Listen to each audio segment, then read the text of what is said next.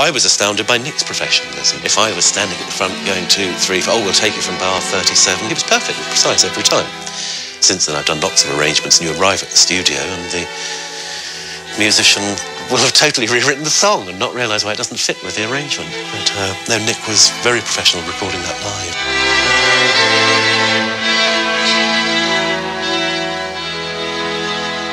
Sessions for the album continued for several months, but there was one song that needed a different sound.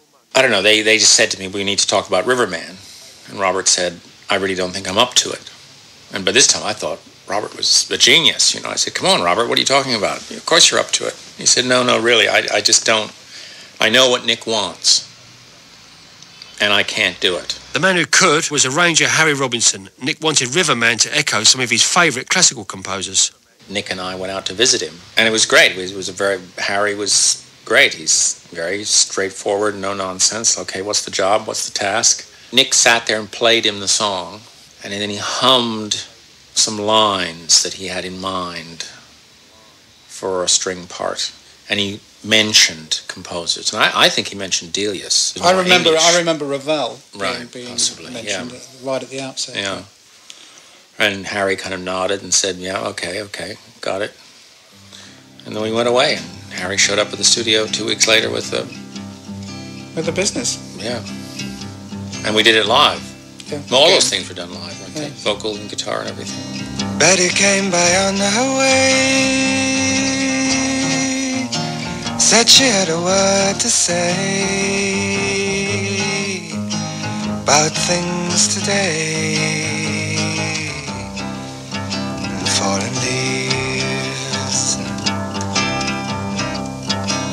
Said she hadn't heard the news. Hadn't had the time to choose a way to lose. But she believes. Gonna see the riverman. Gonna tell him all I can about the plan for lilac time. If he tells me all he knows about the way his river flows and all night shows in summertime.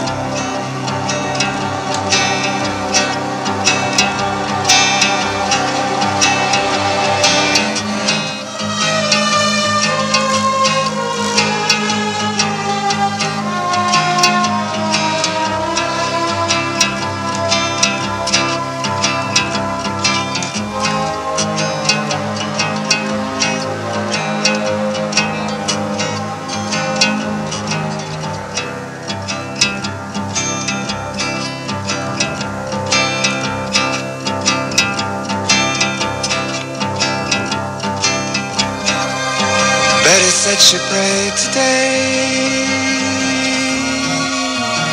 for the sky to blow away, or maybe stay.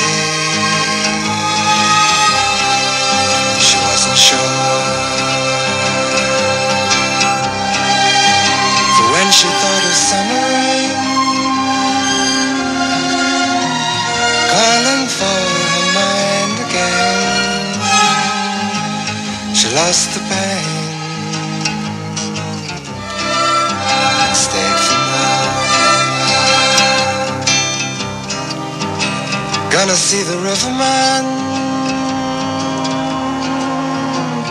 Gonna tell him all I can about the band.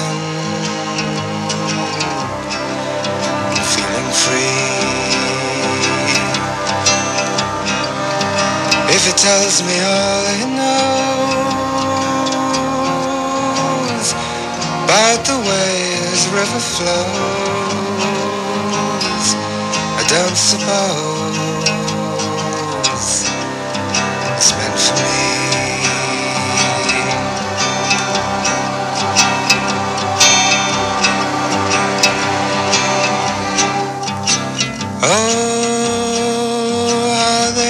come and go.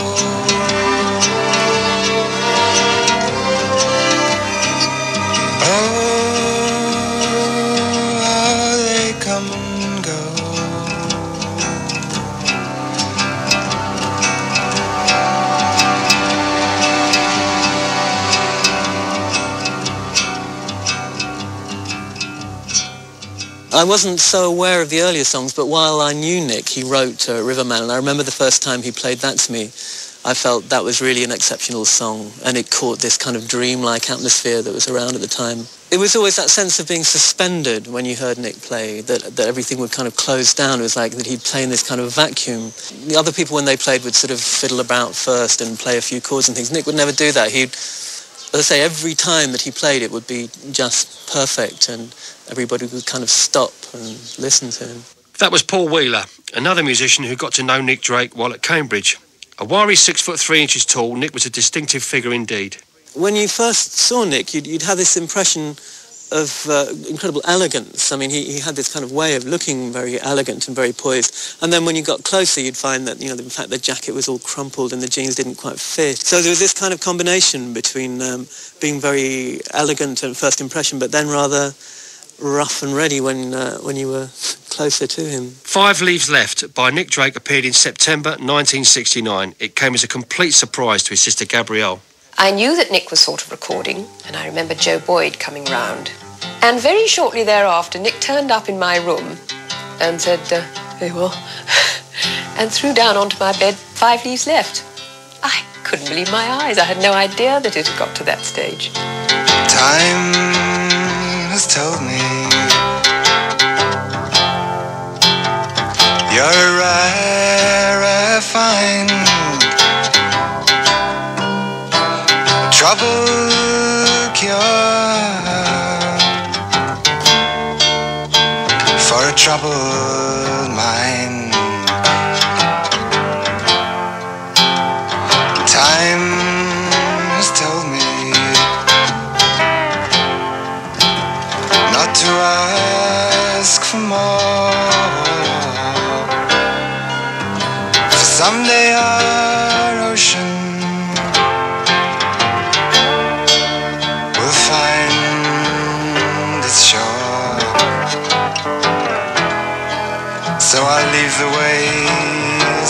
making me be what I really don't want to be. Leave the ways that are making me love what I really don't want to love. He realised he had to maintain the impetus of Five Leaves Left and get another album out as quickly as he could and a better album. Nick had an ambitious streak. He knew what he wanted. He wanted success as a singer songwriter, performer, and he was convinced that he had the talent to do it.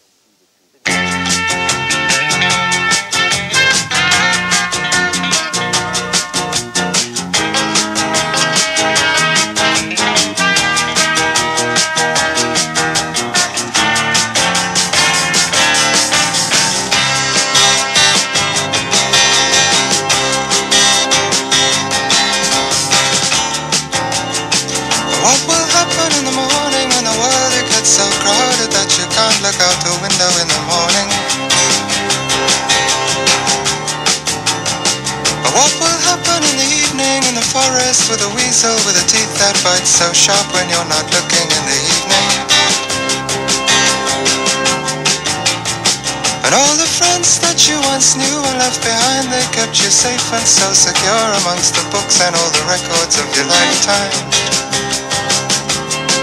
What will happen in the morning when the world gets so crowded that you can't look out the window in the morning?